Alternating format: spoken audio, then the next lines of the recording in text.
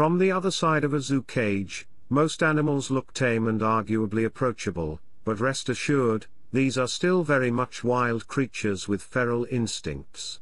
Just this month a woman was viciously mauled to death by a tiger in a safari park enclosure after not being warned the cage door was open, and a keeper was pulled into an enclosure by an alligator. For the most part, walking around a zoo is an experience that fills visitors with delight and sparks interest, but on the odd occasion, chaos erupts animals turn deadly when people get just a little too close for comfort. In one of the most gruesome cases, whale instructor Dawn Brancheau was hauled underwater and thrashed around during a performance at SeaWorld in Orlando as horrified onlookers watched on. The 40-year-old was grabbed by her long ponytail by killer whale Tilikum before he swung her in his mouth during the incident in February 2010. While driving through the tiger enclosure at a Beijing zoo, one woman was terrifyingly dragged away before her rescuer was mauled to death.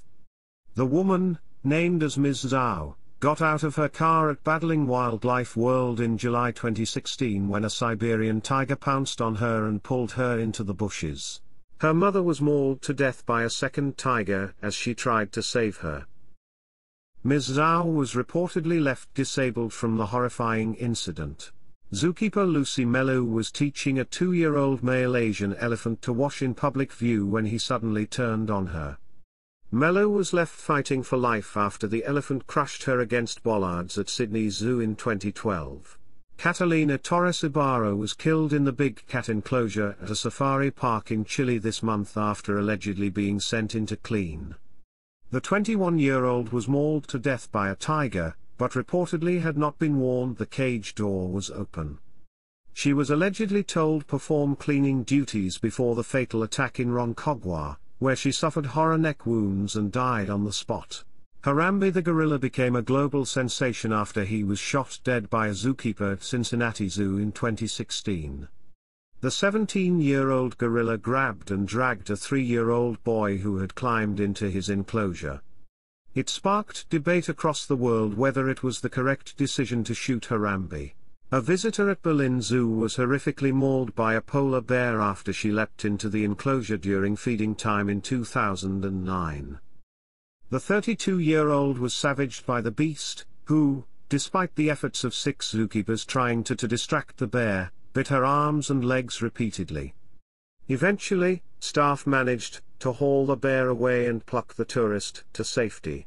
A zookeeper was badly mauled by a Siberian tiger in front of shocked visitors at a zoo in Russia in 2017. The big cat pounced on the woman as she brought food to the animal, but she was miraculously saved by onlookers who shouted and threw things at the beast. Many even lifted a table and chairs from a nearby cafe, hurling them over the fence to distract the 15-year-old male called Typhoon, or Typhoon. Dramatic pictures show the woman on her back on the ground with the tiger on top of her, seemingly going for the kill. A man narrowly escaped certain death after almost being ripped apart when he jumped into a bear's enclosure. The predator quickly grabbed hold of the man, carrying him like a rag doll before sinking his razor-sharp teeth into him. Worried park officials had already rung emergency services when they saw the man sitting on the wall, and so police quickly arrived on the scene and fired a bullet at the bear's chest. The man was quickly stretchered out of the enclosure and was treated in hospital for severe head and leg injuries.